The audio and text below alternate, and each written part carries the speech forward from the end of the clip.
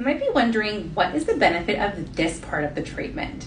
This treatment is called LED, light emitting diode. LED is used to treat a various amount of skin concerns such as skin aging and acne. Your professional skin therapist may choose to use red light. This helps produce collagen and elastin and firm the skin.